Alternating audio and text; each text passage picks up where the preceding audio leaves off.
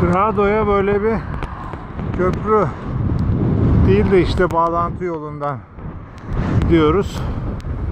Ucundaya geçen bağlantı gibi ama bunun çok uzunu. Yağmur yağıyor. Ama yağmurluklarımızı giydik.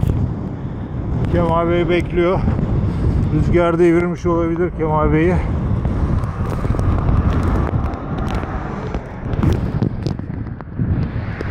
Ben geçtim.